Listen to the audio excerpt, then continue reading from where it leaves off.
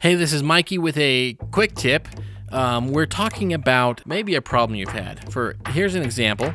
Um, we have this logo, a very nice logo, and as I scale down the logo, I've got the shape layer stroke on it, nice bright red, and it seems to not scale with it properly.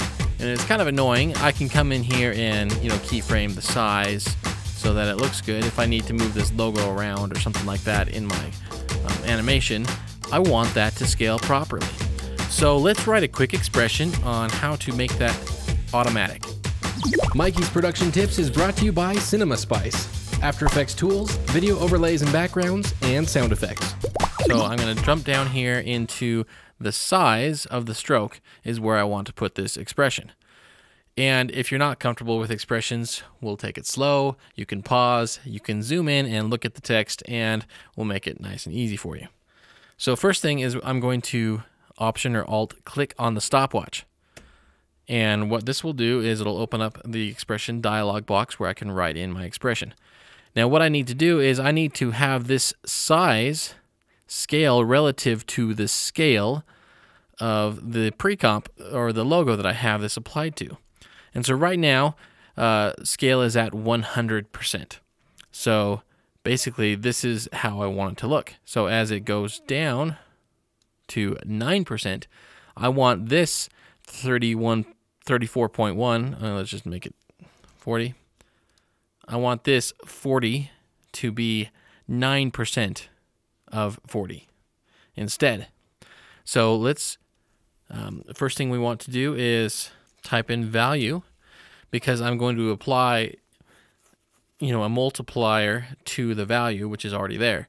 And if I don't do that then it's going to be hard coded in and things like that. So just trust me type value times and then in parentheses we're going to first pick whip the scale. And since scale has two units to it most of the time they are um, the same it doesn't really we can't pick both of them we can't just pick scale. We have to pick one of them because this has got two units to it. Size just has one and so it's going to have an error if you pick scale because it's going to look for you know two numbers when it's needing one.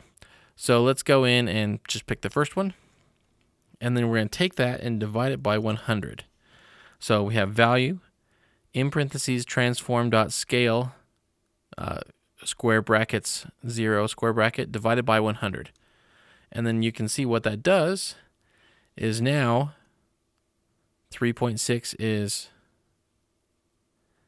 you know is 0.9 times 3.6 or 0.09 um, times 40 is 3.6 and that is proper scale so it's now going to change the scale of the stroke with the scale of the layer. Pretty good. One quick little weirdness about it though is if we go backwards, look at that. I'm now in negative scale and that's not working. So let's add one more thing to this to make it a little bit more robust. And that's this transform um, scale zero. I need to make an absolute value of that. So the expression for that is capital M for math dot ABS for absolute value. And then open parenthesis, and then let's go to the end after that square bracket and close that parenthesis. And then now, it doesn't matter if it's positive or negative scale, it'll keep it the right size. So that's how to create an automatic scale for your layer style stroke.